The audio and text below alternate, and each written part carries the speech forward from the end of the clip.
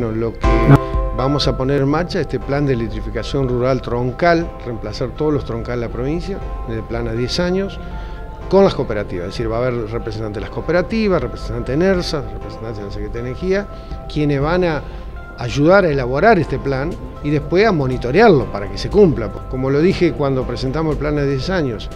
trabajamos todo para elaborarlo, ahora necesito que nos auditen, que nos controlen para que ese plan se cumpla, porque hemos dado paso fundamental, planificar, trabajar en conjunto. Bueno, ahora tenemos que empezar a concretarlo y tenemos que empezar que ellos sean los principales controladores de todo este esquema. Cuando hablamos de cooperativas rurales o porcentajes rurales, hay que ver todo el ratio que tengan de ruralidad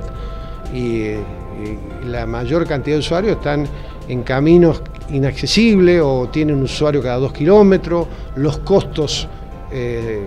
son elevados de operación y mantenimiento, las inversiones ni hablemos, por eso que hablamos nosotros de apuntalar del Estado como política de Estado, y eso lo hemos acordado con el gobernador de la provincia, reemplazar los troncales rurales, que también tiene un efecto no solamente en la parte de energía, sino que